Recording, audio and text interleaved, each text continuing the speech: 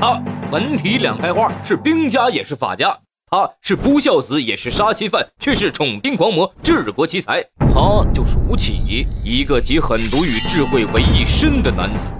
他的职场生涯经历三个东家，第一个是鲁国。首先，吴起在鲁国学习儒学，可在学习过程当中，他妈病逝了，吴起也不奔丧，哭了一场，意思意思，然后继续读书。这在儒家看来，那可是大不孝啊。于是吴起因为这事儿被开除了。于是吴起便改了专业，转学兵法，并且很快当上了鲁国的大夫。当时正好齐鲁大战，鲁穆公就准备让吴起带兵去干齐国。可一瞧吴起老婆，犯嘀咕了：“老吴啊，你老婆是齐国人，我这心里不得劲儿啊！”啊，这事儿简单。那个，这就是著名的杀妻求将。杀完老婆，吴起就去杀齐国人，立下了赫赫战功。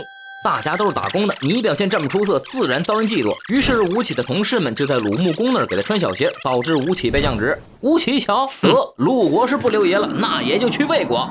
魏文侯可捡了个大漏，那开心的合不拢腿。就这样，吴起打造了名动天下的魏武卒。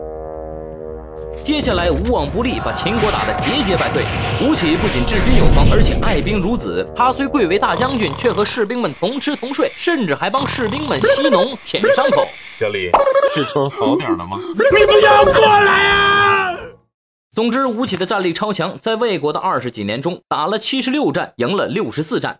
可是好景不长，魏武侯上位后，身边的反吴派多了起来。吴起被迫离开魏国，去了楚国。楚悼王久仰吴起大名，一来就让他做大官。吴起也不含糊，上来就大刀阔斧的搞改革。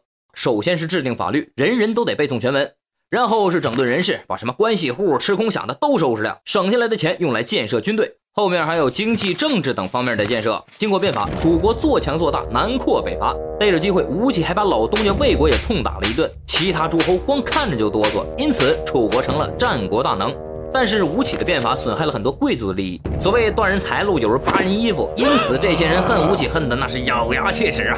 所以楚悼王挂掉后，他们趁吴起来参加追悼会时，大家一起上。吴起急中生智，扑到楚悼王尸体上，寻思他们会顾及国王遗体，不敢动手，因为楚国法律规定，侵犯国王遗体会被诛三族。可有些恨，挫骨扬灰不后悔，所以大家啥也不管，biu biu biu biu biu 一顿射，就这样，吴起的人生到此结束。